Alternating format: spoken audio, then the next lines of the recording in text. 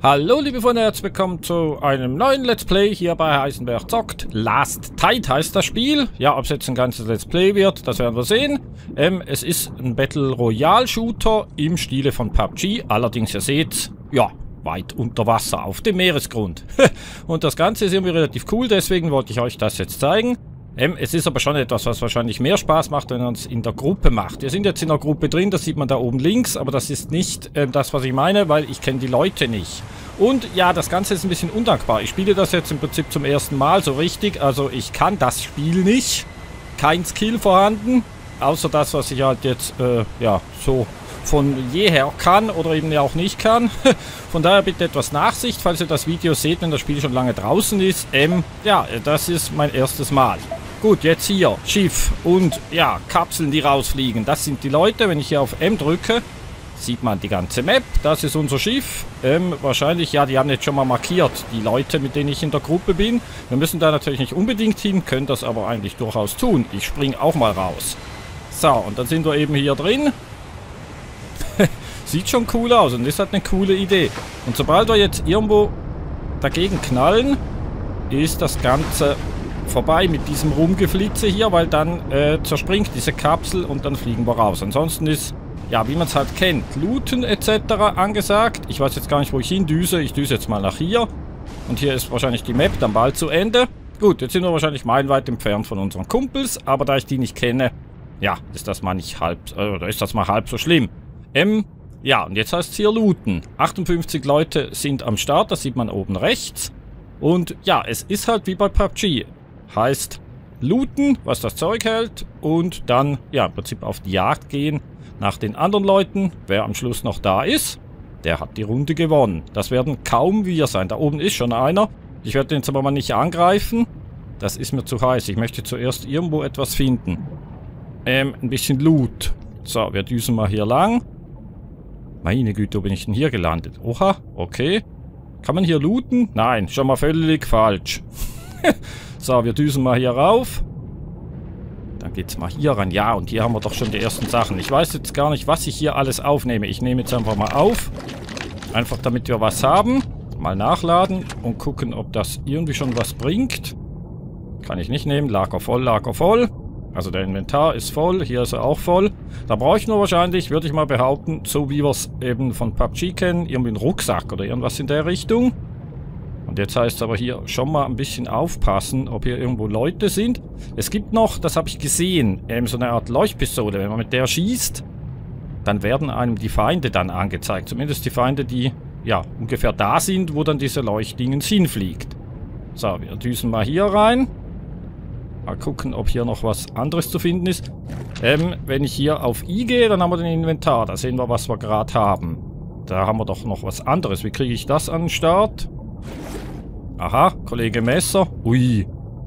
Eine Wumme. Sehr schön. Wumme ist immer gut. Das heißt, wir können eigentlich fast schon, ja, auf die Jagd gehen und mal gucken, warum es denn überall Lager voll. Wir brauchen dringend irgendwie so eine Art... Das ist eine andere Wumme. so eine Art Dingens bräuchten wir. Ähm, da, da ist doch einer. Wisst ihr was, da düsen wir mal hin. Es gibt eben auch einen Enterhaken. Wenn man den findet, dann kann man viel schneller sich fortbewegen, indem man eben den Enterhaken irgendwo hinballert und sich dann von dem ranziehen lässt. Aber ich glaube, wir haben gerade keinen. Wo ist der jetzt wieder hingekommen?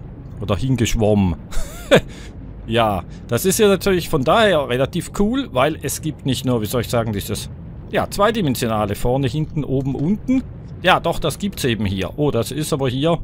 Doch, da ist doch einer. Oh, la la la la.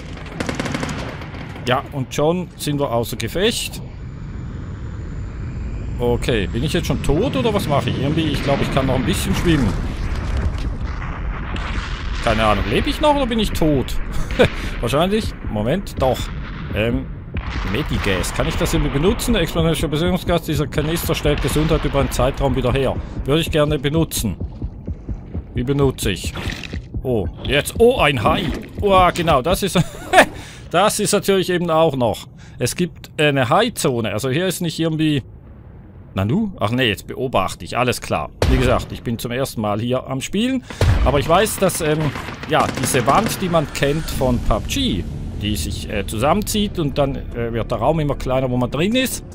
Das ist hier auch der Fall. Allerdings ähm, stirbt man da nicht außerhalb einfach so, sondern da kommen dann eben die Hai-Angriffe. Also das ist natürlich auch relativ äh, nett gemacht. Gut, ich würde gerne mal kurz raus. Moment, nicht dingens. Doch, wir müssen ganz raus. Schade, ich dachte, wir können vielleicht irgendwie hier nochmal joinen. Aber dann müssen wir mal ganz kurz ganz raus. Machen hier wieder den hier. Region auswählen. Sollen wir mal in Europa spielen? Da hat es je nachdem vielleicht ein bisschen weniger professionelle Spieler.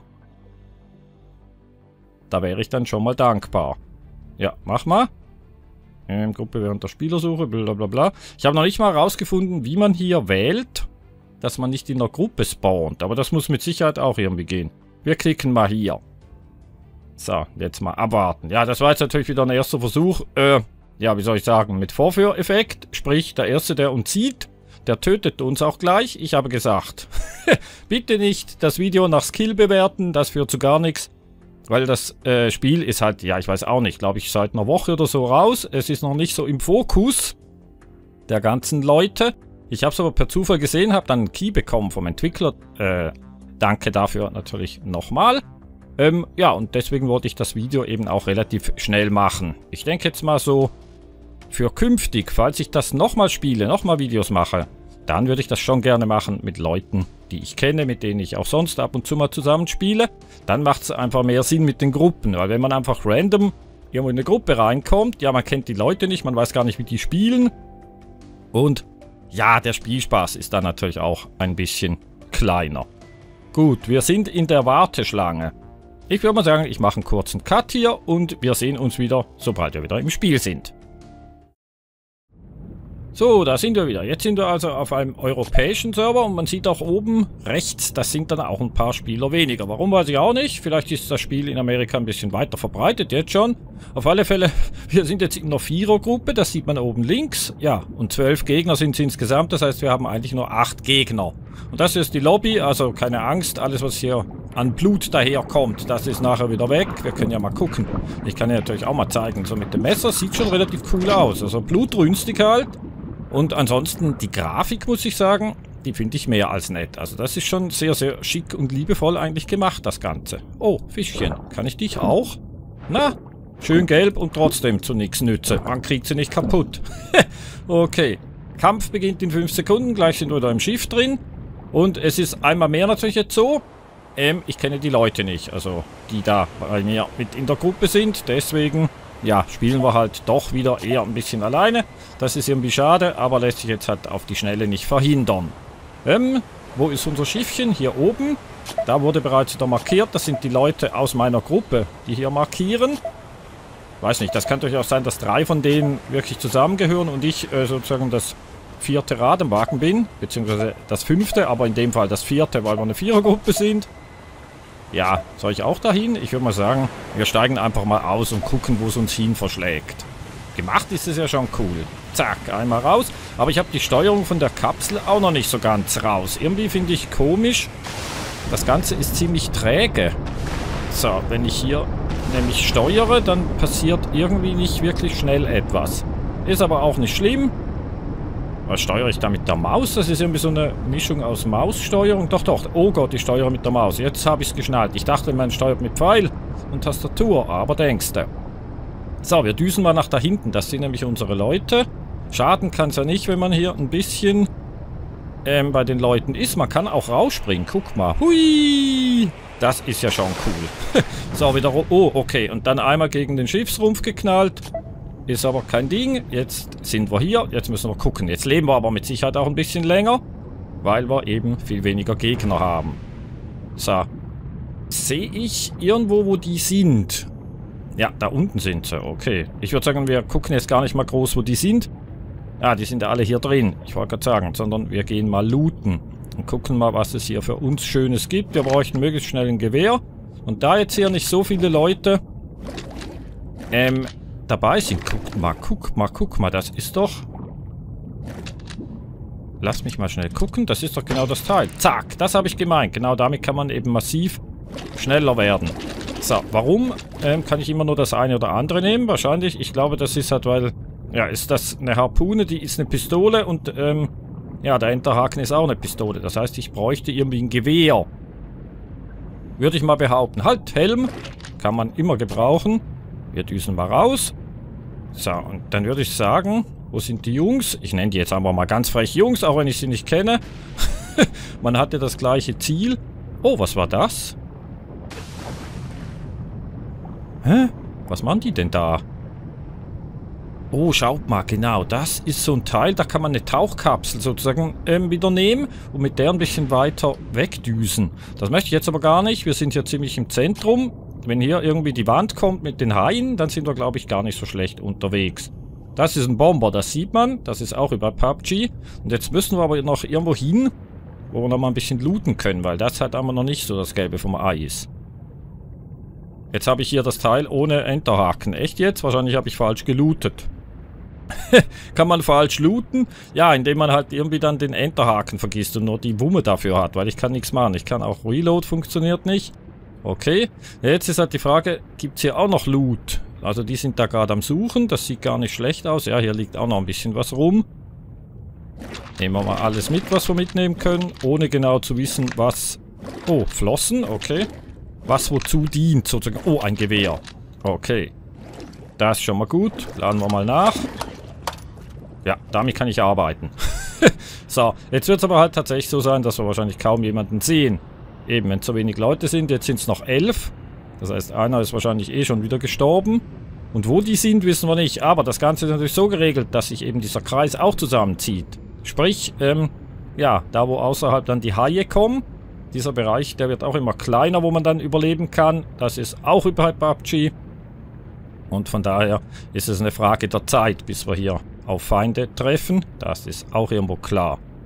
So, wenn ich halt öfters mal von PUBG rede, ihr seht ja wahrscheinlich warum. Das ist natürlich schon das gleiche Spielprinzip. Es ist einfach anders dahingehend. Ähm, ja, dass man eben hier von Haien gejagt wird, wenn man außerhalb der Zone ist. Und ja, dass man unter Wasser ist. Das hätte ich jetzt, glaube ich, nicht mal mehr separat erwähnen müssen. ich denke, das ist ersichtlich. Ist halt ein bisschen... Ah, jetzt High Shield fehlt. Wir gehen mal schnell gucken hier unten, beziehungsweise wir verstecken uns mal. Ich möchte noch mal kurz auf die Map gucken, damit ich sehe. Von wo kommt Kollege High Shield? Oh, was ist das? Eine schwarze Wand. Nicht, dass das Teil hier schon beginnt. Ne, guck mal hier unten. Von hier kommt das Schild. Wir sind also nicht so schlecht. Das ist das ist doch irgendwie so eine Art Rauchbombe gewesen wahrscheinlich. Wenn der Name dran steht, dann ist es ein Freund. Das ist mir klar. Falls hier unten irgendwo einer ist, wo kein Name dran steht, dann ist es eben kein Freund, dann ist es das Gegenteil. Auch bekannt als Feind. so, können wir noch mal ein bisschen looten? Das ist irgendwie immer noch nicht so das Gelbe vom Ei. Ich möchte eigentlich keinen Probeschuss machen, da ich nicht weiß, wie viel ähm, Dingens wir haben.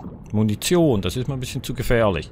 Und wenn ich jetzt schieße, dann erschrecken sich da die Kollegen und am Schluss schießen sie noch zurück. Das kann es ja auch nicht sein. So, nochmal schnell gucken. Ich bewege mich nach da. Von hier kommt die High-Zone. Das ist eigentlich schlecht. Ich müsste in Richtung... Ähm, ja, so. Das ist gar nicht falsch. Und der andere Kollege macht ja genau das gleiche gerade. Unten rechts habe ich noch eine Minimap. Da würde ich auch noch sehen, was los ist. Und eigentlich spiele ich das eh schon wieder viel zu offensiv im Sinne von, ja, dass ich zu wenig auf Deckung achte etc. Aber eben, wenn wir nur elf Leute haben, dann ist das eigentlich gar nicht so schlimm. So, da hinten sehe ich auch irgendwie was blubbern. Man sieht natürlich, je nachdem, wenn ein Taucher kommt, ähm, die Luftblasen aufsteigen. Das heißt, das würde dann den einen oder anderen schon wieder verraten. Das Problem ist jetzt, wenn ich hier meinen Kumpels folge, die gehen wahrscheinlich von Lootplatz zu Lootplatz und looten alles leer. Das heißt, wenn ich dann dort ankomme, dann hat es dort nichts mehr. Deswegen ist das vielleicht nicht ganz so clever, jetzt den zu folgen. Ähm, das könnte aber dazu führen, dass wir dann überall Stellen finden, wo es nichts mehr zu holen gibt. Weil ich schwimme hier immer noch mit relativ wenig Loot rum. Das gefällt mir gar nicht. Was haben wir hier noch? Schönes. Wow, was ist das denn? Huiuiui, guck mal. Geysire. Da liegt auch noch Zeug rum. Mal gucken, was das Schönes ist. Medigas. Flossen haben wir eigentlich schon. Ich sammle die aber trotzdem auf. Geht nur nicht. Okay. Das ist wieder ein Kumpel von uns. Hier unten liegt noch Zeug. Auch nochmal Flossen. Ein Stern Flossen sozusagen. Das tauscht dann halt immer. Ist das nicht ein Schild? Nein. Aber nochmal Flossen? Ja, bringt gar nichts. Ich würde ja schon gerne mal schießen. Wisst ihr was? Ich schieße jetzt mal. Einfach. Okay, das klingt ein bisschen nach Nahkampfwaffe. Kann das sein? Das müsste man dann, ja, je nachdem beachten, wenn wir angegriffen werden. Und ihr seht schon, hier ist natürlich schon relativ viel los unter Wasser. Also man hat relativ viele Plätze, wo man looten kann. Man sieht das ja auch auf der Map. Oh, und jetzt schaut mal, wie der Kreis relativ schnell kleiner wird. Du bist ein Kollege, auf dich schieße ich mal nicht. Aber jetzt werden wir dann gleich schon mal zum Showdown kommen. Zehn Leute leben noch, das heißt, es sind noch sechs Feinde. Und die müssen ja irgendwo hier in diesem Bereich drin sein, weil hier außen eben die Haie kommen, da wo es rot ist. Das ist nicht so gemütlich, sagen wir mal so. Man überlebt eigentlich ähm, relativ einfach die erste Hai-Attacke, weil man mit dem Messer sich wehren kann. Aber, ja, je länger das natürlich dauert, desto, ja, desto toter ist man dann irgendwann. das heißt, ähm, ja, lieber nicht erwischen lassen. Ja, das ist nur das Messer. Was habe ich hier noch? Noch die Knarre. So, ihr seht, so ganz habe ich es noch nicht raus. Was ist das? Aha, das macht gar nichts. Okay, oh, das sieht nach Pumpgun aus. Da fehlt uns aber immer die Munition. Nehmen wir das Teil nochmal. So, nochmal Laden. Das müsste der Bomber sein, ja. Wir sind hier aber, glaube ich, geschützt, hoffe ich mal. Er versteckt sich. Das mache ich auch mal. Okay, nochmal auf die Map gucken. Ja, ja, jetzt wird es dann langsam interessant hier. Da sieht man schon die Bomben. Definitiv nicht sehr schlau, wenn man da reinkommt. Ich glaube, wir sind komplett unter ausgerüstet. Also sprich, ähm, uns fehlt massiv Zeugs. Wir werden hier wahrscheinlich nicht allzu weit kommen. Ich kann höchstens hoffen, dass die Kollegen uns vielleicht noch ein bisschen helfen. Und wir dann sozusagen im Viererteam gewinnen, ohne dass ich was Großes angestellt habe. Das kann natürlich durchaus sein. Ich halte mich jetzt mal an die, weil ich denke, zum Looten ist es jetzt zu spät. So, sehen wir hier schon jemanden? Nö. Kann man eigentlich raus? Ich weiß nicht, ob das der richtige Moment ist, das zu testen, aber ich möchte mal schnell gucken. Das muss man ja schon wissen. Oh, das ist ja nett. Okay, da kommt man tatsächlich sogar an die Wasseroberfläche. Hier steigen Blumen auf. Äh, aber da ist keiner. Ich hoffe es zumindest. Oh, aber jetzt ist wieder irgendwie entweder Bombenzone oder... Ja, wir sind genau in der Bombenzone drin. Da düsen wir mal kurz raus. Wenn ich schaffe. Oh lala, ja, das könnte jetzt tatsächlich sein. Hm, und ich düse eben nicht raus. Hier geht's lang, raus. Man sieht ja unten rechts. Das könnte sogar sein, dass wir jetzt irgendwie von Kollege Bombenzone erwischt werden. Und ein bisschen umgucken sollte ich mich eben trotzdem. Ja, ich glaube, wir kommen noch raus rechtzeitig. Immer noch neun Leute. Das heißt, irgendwo schwimmen hier irgendwelche bösen Buben rum. Die wollen uns ans Leder. Sieht man den Bomber?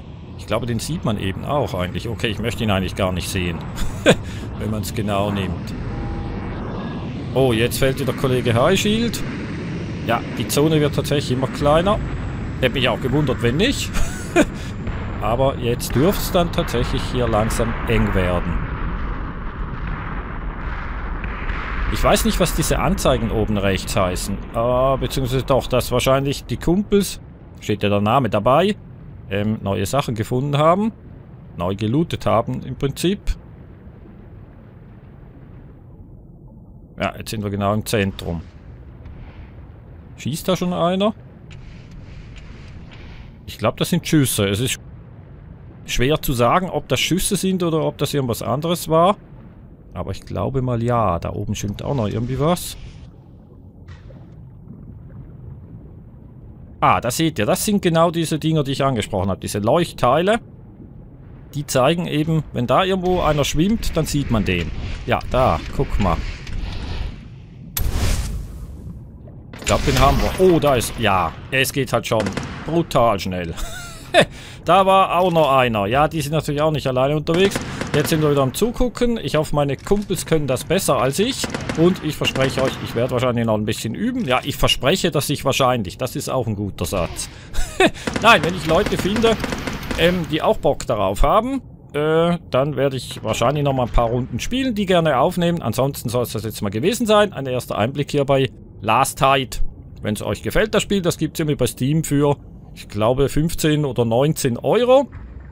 Irgendwie sowas. Und wenn man Battle Royale Spiele mag, dann ist das eigentlich gut investiertes Geld, weil das Spiel durchaus Potenzial hat und eben auch eigentlich gut gemacht ist. Hallo, Kyro... Kyrito.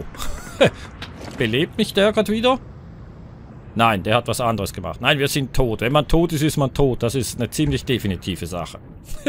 Gut, vielen Dank fürs Zugucken. Hoffe, das Video hat euch ein bisschen gefallen. Auch wenn, wie gesagt, mein Skill natürlich nichts war. Bei einem Spiel, das halt ganz neu rausgekommen ist, wo ich noch gar nicht wirklich üben konnte, ist das auch eher schwierig, da was hinzukriegen. Aber Spaß gemacht hat's halt trotzdem. Also mir zumindest. Ich hoffe, euch auch. Danke fürs Zugucken. Macht's gut. Bis dann. Tschüss.